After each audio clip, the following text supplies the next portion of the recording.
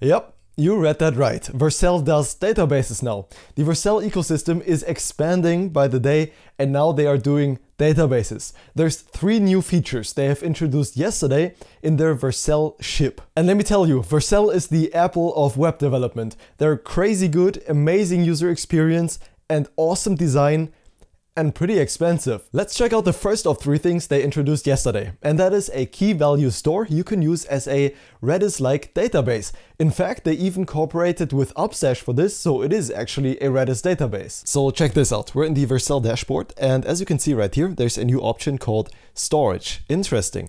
And I'm gonna get to these two later, but for now, the KV, the key value store, let's create one. Let's select the KV, click continue, and accept. And this is one of the most straightforward setup processes ever. We can enter a database name, a region, I'm going to choose Frankfurt, Germany, and click create. And okay, name doesn't work because it's too short. Let's click create. That's going to create the database for us within seconds and get us access to all the credentials we need to connect to it.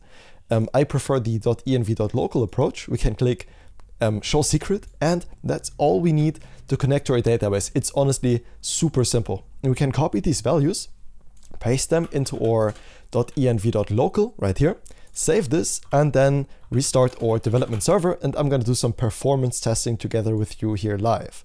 Um, let me zoom in so you can see this easier. And that's the setup done. All we need to do now is install the at Vercel slash kv npm package. It's got like um, a couple thousand installs since yesterday, which is pretty crazy.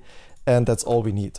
Now, the way we set a value in our Redis database is by saying kv.set, you know, just like normal Redis, we could use all the normal Redis stuff we have. Let's use set, user one session, that's the key. This is the value. And then let's await the time it takes to set this value. And also it takes to get this value. Let's restart the development server and go to localhost 3000 and see what happens. It's gonna run this when I open up the main page of our application and let's look into the console and you can see it says 188.95 milliseconds. That's a cold start. That takes a bit, but I'm gonna keep refreshing the page here on my right hand side. And as you can see, it's shorter. It's like uh, 30 milliseconds, 40 milliseconds around there. So there was a massive cold start problem, but then when the serverless functions warmed up, it got faster. And then let's try just the reading because that is significantly faster. Let's try out just the time it takes for this function to read the value. I'm going to keep refreshing. And as you can see, it's um, 12, 14, 13 milliseconds. It's really fast. And you cannot tell me that this wasn't the easiest database setup you've ever seen. Second thing they introduced is Vercel Postgres. Yep, that's right. Vercel is doing Postgres now. And this database is meant to integrate super well with React server components. In fact, you can now even do post actions on something like a form and create stuff interactively in server components. You don't need to use client components anymore. What you could do is fetch data inside of a server component and then as a form action define something that should happen when a user presses a button, for example, without ever leaving your server component environment. Now the caveat being Vercel Postgres, just like Vercel KV, I believe, is not available for enterprises. Most of us aren't, um, but it might be important because these two are in beta, which means they're totally usable for the hobby and the pro plan. If you don't exceed your limits, there are heavy limitations on how much you can use them until you have to pay, but they are currently at least unavailable for anyone that wants to use them for enterprise large scale purposes, even though Vercel does claim they scale infinitely and very well. You can import your database super easily and then write raw SQL queries inside of your components.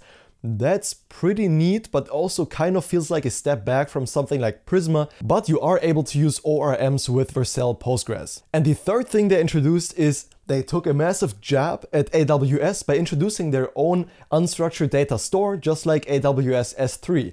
It's not available yet. You cannot currently use it. You have to sign up for a waitlist, but I bet it will be soon. That's why you can't even currently find the NPM package that they're using on their website on NPM. Because this service is currently locked behind a waitlist, there's not too much information on it, but all I know is for all these three services they introduced, they are pretty expensive. Now it's not super straightforward to compare prices with other providers because sometimes they are based on how many requests you make, whereas other times they're based on the amount of data you transfer. So it's not super straightforward to compare these, but if you take a look at the Vercel pricing, especially for the Vercel key value store KV and also for Vercel Postgres, the big caveat is it seems, at least to me, pretty expensive and you might be better off with other solutions because after all, while Vercel does provide you with an amazing user experience, it is kind of just an abstraction of other services because they just cooperated with them.